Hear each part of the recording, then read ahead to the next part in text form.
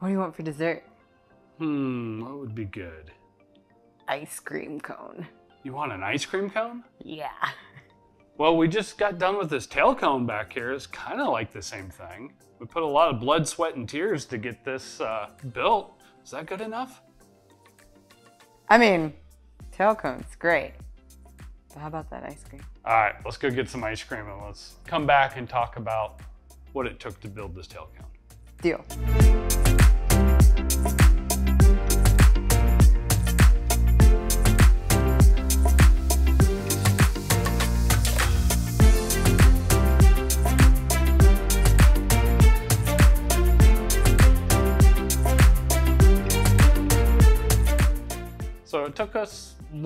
Two months calendar time, but we got a completed tail cone behind us. Yeah? Where's the rest of it? Where's the rest of it? Well, it's kind of scattered through the house. I mean, we started the tail kit right before we left for Oshkosh. Yep. Started the vertical stabilizer, knocked that out in almost one day. You can see the other video that I'll link here to that. But um, about 10 hours, eight, eight to 10 hours of build, we got the vertical stabilizer and we're like, we got this tail kit. We're gonna be done in no time. Then came the rudder, then the Uh, Whoa, ho- horizontal stabilizer was next, which wasn't too too bad. You know, I mean, we started realizing that Vans is amping up the game and making it a little bit harder. And then comes the rudder. oh, the rudder was a pain in the butt. So we get the rudder done. Then the elevator, it felt like that took forever. That's just because there were two pieces. Two pieces, trying to do them both at the same time, put it all together, take it all apart, put it all together, take it all apart, deburr, deburr. You know, so we're going back and forth. So we get that done. And our friend Rick tells us, oh, the tail cone goes together quick. You lie. You lied. Well, it, it kind of did. Um, it was a kind of a fun process of building the skeleton up first. Yeah. And- all the pieces put together. all the guts The and all the insides. insides. Uh, then you take it apart. Then you put it together, and um, And then you partially put it together. yeah, And then you have some fun with all the wiring. yes. Then comes the wires. Um, first time you get to play with wiring. Um, wish I could say the Vans instructions were perfect, but um, trying to figure out exactly where they wanted the wires to run through under that J channel. It makes sense now. Yes.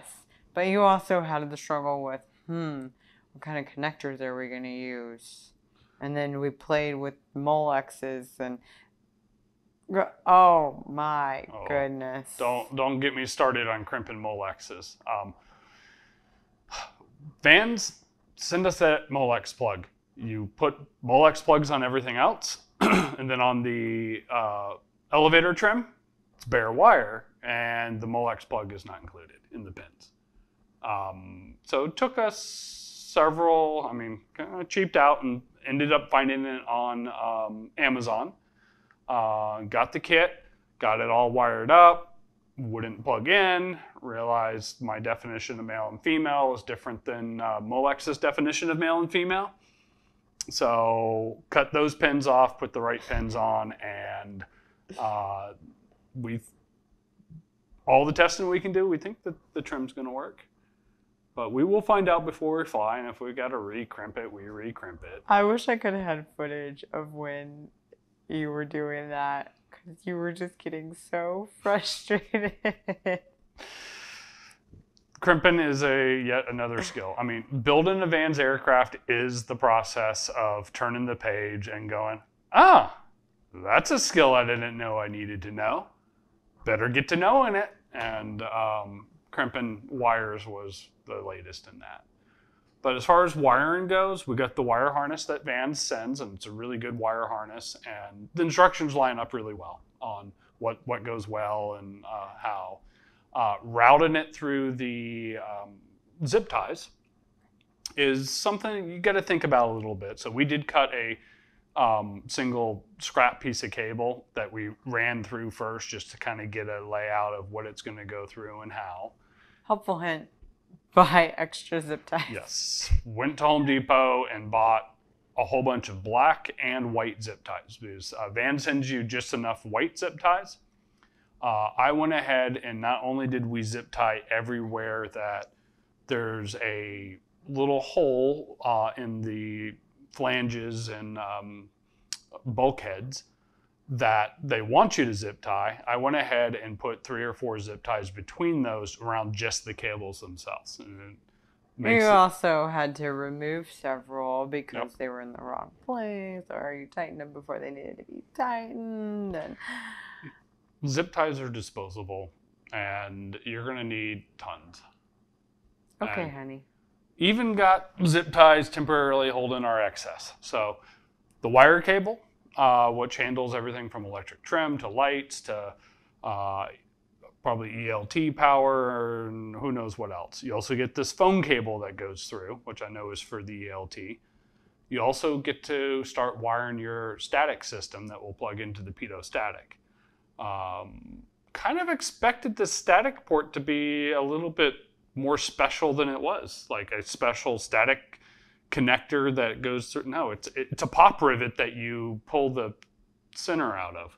Pretty basic. Pretty basic, and you stick the tube on the back of it and put some sealant around it. And uh, we went ahead and added an extra zip tie, then sealed, uh, so it's nice and tight, nice and secure. Uh, and then the rudder cables, they go through Yeah. and now you get to start riveting on plastic pieces. Um, The that was kind of awkward. I felt like in the plastic, because I felt like it was really, really tight on the plastic. but- tight's better than loose. The whole purpose of the plastic is the rudder cable. It's where the, the rudder cable goes through the slit in the back so that it doesn't rub against the metal. Yeah. So it's not structural. It's not going to hold the airplane together, but it's going to keep the plane flying for a long time. Um, what else did we do back there? Um, a couple BNC cables, routing it down both sides, putting the zip ties. We have tightened up all the zip ties going all the way back. Just the ones in the most forward bulkhead. Yeah. So then, after you get all that done, well, let's let's talk about riveting the um, the bottom section. You know, so when we put the bottom together, the bottom skin Mm-hmm. on, that was pretty easy. Uh, we um, were we able to turn it on its side at that point? We were doing it upside down. We're doing it. Oh, Remember, I right. was lying underneath the sawhorses. Yep. Until you get the bottom skin riveted on, Vans tells you to put it on two sawhorses so you can get in between. Yeah. So um, she is the best rivet bucker that we know. so she's down on the ground, um, setting the rivets. I'm up top. I had the easy job on that one. Okay, I had the easy job on all the riveting through this whole process Yeah. Uh huh. it's uh, there's some challenging rivets, um, and if we get a mirror back there and really look at some of the rivets that are back there, they're- not our favorites. Um, No, especially in the back back section. very aft section, it's uh, you don't get to look at it. It's just You're doing it blind. and not you have to work to get the pieces to seat together. Uh, we did do one section on the very aft at the bottom. We had a gap. had a gap and we're looking at it and we're like we even send a picture into vans and talk to our favorite uh, tech advisor Kevin. Kevin. and at first he said no no that's fine i mean you can go redo it if you want it's just cosmetic He wasn't looking at the right spot. he was looking at the one that we thought we did a good job on and then he emailed us back the next day going oh i looked closer that bottom section that's what you're talking about yeah those do need to be drilled out so drilled out the row, row of rivets uh, kevin gave us some great tips to um, increase our rivet drilling out skills um, which we haven't practiced as much as i was expecting. We haven't had to drill out as many rivets as people say we probably should have had to. Yeah. I feel like we've been doing a pretty stellar job at. Yeah. And most of the rivets that we had to drill out ooh they were doozies we can never mess up a rivet that's easy to get to. But that's also why we were a little bit nervous about drilling out all these rivets that are in Mm-hmm. the skin. Yeah. So our, well, at least my stance on drilling out rivets are it really needs to be drilled out before we do because we're more likely to cause more damage drilling it out than we are um, leaving it. So But we've gotten a lot better at it. we've got we've gotten a lot better at it. We've got our tips and tricks on it. It's just that one rivet that's next to a piece that you don't have clean access to drill it out. Those are the ones that scare us.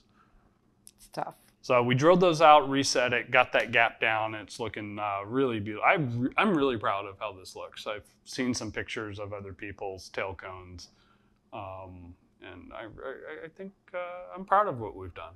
Yeah, looks really good. So, but then you start putting the side skins on, and that's where we uh, have been using our new tables that uh, we have here, kind of secondary workbenches. They're a little lower, so it makes it easier to get in and out of. and rotating it on its side, choosing which side it's on and when it's right side up is kind of something we alternated between a lot to get all those rivets set. But uh, it's just a matter of setting a whole bunch of uh, rivets at a time, and a lot of them. The further back you get, the harder it is to get your hands in there and get the angle that you really want to get the bucking bar on. Uh, and you're dealing with skins that are curved. Oh, I have decided that I'm going to find someone who can just take a big block of tungsten and make the exact angles that I want. Because I'm so sick of, oh, it doesn't fit. Oh, it doesn't fit. What do I do? Ah! I'm just, it's going to be okay. Post in the comments what are your favorite tungsten bars because we've got the standard four pack of different sizes and shapes, but what what oddballs are out there that's a must have? Uh, we know about the uh, Cleveland Tools uh, specific one for the trailing edges. We, we already use use those. that. You know, those are great for that one specific job, but not everyday use because it's steel, not Yeah. tungsten. But if there's like one odd shaped tungsten bucking bar that makes sense, let us know. Yeah, send me some pictures. Because, you know, diamonds are not her best friend. She loves tungsten. She loves her tungsten set. Um, but then, yeah, we, as, as we got it closed up more and more, uh, then you start putting the top skins on. Mm. And that was fun, especially at the last step when we're crawling inside, figuring out how to lay boards down to support our weight so we can actually be. It's the first time we were inside of our airplane. Yeah. Not in the section that we'll ever. It wasn't as hard as I thought it was going to be, though. It wasn't. It was kind of just awkward to bend and get in there, uh, especially Problem is doing it over your head. Yes. Uh, and there are a couple rivets on the bulkhead in there that you've got to set um, universal rivets. Um, and once it's in there. of course, I'll look at it and go, I can squeeze those. No, nah, you can't squeeze them. Gotta gotta get creative, but You say that a lot. Oh, don't worry about it. I can, I, I can squeeze it. And then I'm like, there's no way he's going to squeeze those rivets. And then, you know, 15 minutes after him trying to squeeze it, I'm like, can we please just buck it? I, I I'm getting better at recognizing it early. But I always neglect to think Listen. about the space that the tool, the squeezer itself takes up, and I just can't get it centered on there. Or you can just listen to me. I could, but we, but squeezing's so much better. we always squeeze. We only buck when we can't squeeze. So at least we're gonna try. hmm So, but we got it done. I'm proud of it. I'm really excited to see when this gets attached to the fuselage that we have sitting over there. The Uh, next section. next section, yep.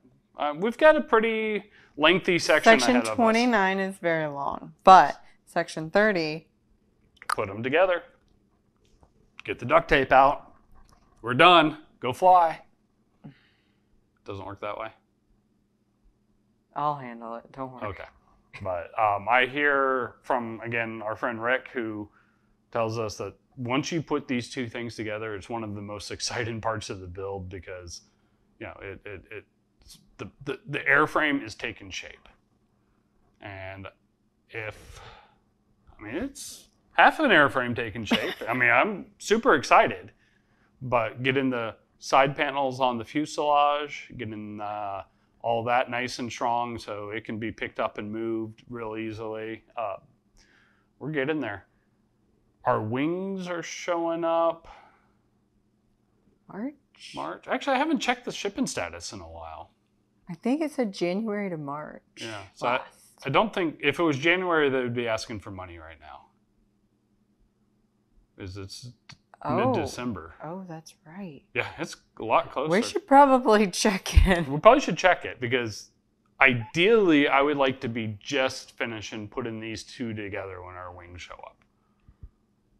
We're gonna need a hangar. Yeah, this t- space is getting tight in this garage. Where are we going to put the wings? Can empty out the shed out back. No. I mean, the shed is just like a hangar. Not so much. But we'll trust us. We will solve that problem when the wings come here. We will we'll figure it out. uh, but you know, it's not like we're going to attach the wings to the fuselage eh, while it's here. But there's going to be lots of work to do. Even though they're quick build wings, there's still things we got to do. Um, not 100% check sure what they are everything. yeah, go over, check that they did everything right. Uh, hopefully, they did a good job sealing the fuel tanks because if not, that's the first thing we do. Ah, fuel tank sealant, our favorite. So, this is the status of our uh, our build so far. We've got the tail kit It's almost done. To the we're not going to attach the stabilizer uh, stabilizer as and rudders and elevators until we get towards the end. Uh, even the instructions say you can do this at any point in the build. Great, move on. We'll come back to it later. Started it late September, the tail cone, and we finished it uh, early December. Yeah. Kind of took a break in the middle. Kind of had um, some life events and some things that took us away from building for uh, several weeks at a time. But we're we're back to it. Yeah. So, thanks for joining us N14 Victor Echo. See you next time. See you next time.